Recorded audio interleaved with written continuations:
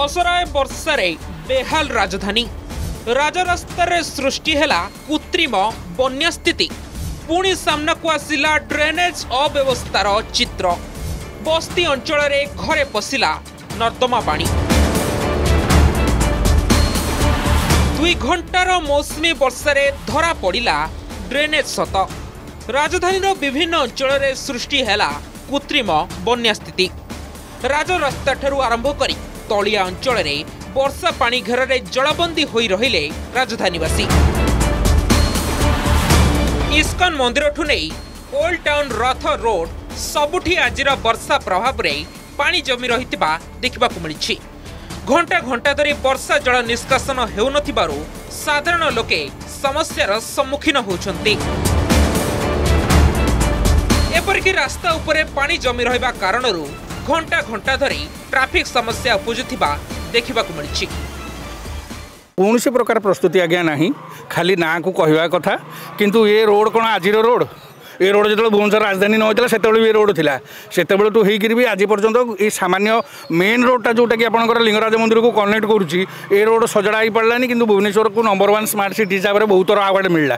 କିନ୍ତୁ ଆମେ ତ ଯେଉଁ ଭୁକ୍ତଭୋଗୀ ଯାହା ଭୋଗୁଛୁ ଆପଣ ତ ନିଜେ ସ୍ୱଚକ୍ଷୁରେ ଦେଖୁଛନ୍ତି। ବିଏମ୍ସି ସବୁବେଳେ କହୁଛି ମୁଁ ବର୍ଷା ପୂର୍ବରୁ ମୁଁ କରିଦେବି ସବୁ କାମ ଠିକ୍ ଠାକ୍ସରେ କିନ୍ତୁ ଏବେ ମୌସୁମୀ ଆସିନି ଅସରାଏ ବର୍ଷାରେ। ଇଏ ମୁଖ୍ୟ ରାସ୍ତା ଲିଙ୍ଗରାଜ ମନ୍ଦିରରୁ ମାଉସୀ ମା ମନ୍ଦିର ପର୍ଯ୍ୟନ୍ତ ଏଇଟା ମୁଖ୍ୟ ରାସ୍ତା ଯେଉଁ ବାଟକି ରଥ ଚାଲେ। এই সময় আপনার জাঁপারে মেয়র ম্যাডাম বি ফিল্ড উপরে আসছেন লোক পব্লিক কৌন ম্যাডাম এটা টিকে দেখুন ନା ମୁଁ କ'ଣ କରିବି? ଯଦି ରାଜ୍ୟ ରାଜଧାନୀର ଅବସ୍ଥା ଏମିତି ମୁଖ୍ୟ ରାସ୍ତାର ଅବସ୍ଥା ଏମିତି ତାହେଲେ ଦୂରଦୂରାନ୍ତରେ ଗଳିକନ୍ଦିର ରାସ୍ତା କ'ଣ ହେଉଥିବ ସେଇଥିରୁ ଆପଣମାନେ ଅନୁମାନ କରିପାରୁଥିବେ। ଆପଣମାନେ ଦେଖନ୍ତୁ ମେୟର ଯେଉଁ କଥା କହୁଥିଲେ ମାନେ ପାଣିର ଗାର ସଦୃଶ ପାଞ୍ଚ ମାସ ଭିତରେ ଏମାନେ ଡ୍ରେନ୍ ତିଆରି କରିପାରିଲେ ନାହିଁ ବର୍ଷା ଦିନ ଆରମ୍ଭରୁ ଡ୍ରେନ୍ ଆରମ୍ଭ କଲେ।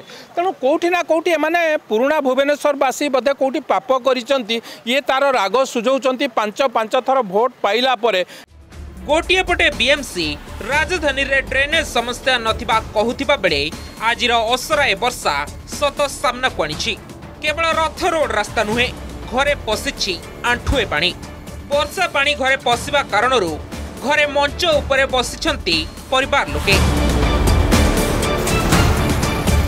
ଅନ୍ୟପଟେ ଅଧିକାରୀମାନଙ୍କ ସହ ପାଣି ଜମିଥିବା ଅଞ୍ଚଳ ବୁଲି ଦେଖିଛନ୍ତି ମେୟର ସୁଲୋଚନା ଦାସ। ଖୋଦ୍ ବିଏମ୍ସି ମେୟର ନିଜ ମୁଣ୍ଡରୁ ଦୋଷ ଖସାଇବା ପାଇଁ ଚେଷ୍ଟା କରିଛନ୍ତି। ଏହା ବିଏମ୍ସି ଅଧୀନରେ ଯାଉନଥିବା କହିଛନ୍ତି ବିଏମ୍ସି ମେୟର। ପ୍ରତିଶ୍ରୁତି ପାଲଟିଲା ପାଣିର ଗାର। ପୁଣି ରାଜଧାନୀବାସୀଙ୍କ ଯନ୍ତ୍ରଣା ବଢ଼ାଇଲା ଡ୍ରେନେଜ ସମସ୍ୟା। ଅସରାଇ ବର୍ଷାରେ ଭାସିଲା ପ୍ରତିଶ୍ରୁତି। ବୁଡ଼ିଲେ ତଳିଆ ଅଞ୍ଚଳର ବାସିନ୍ଦା। ତେବେ ସ୍ମାର୍ଟ ସିଟିରୁ କେବେ ଦୂର ହେବ ଏହି ସମସ୍ୟା ଦେଖିବାକୁ ବାକି ରହିଲା। भुवनेश्वर पर्सन जितेंद्र मल्लिक सह चिन्मयी रिपोर्ट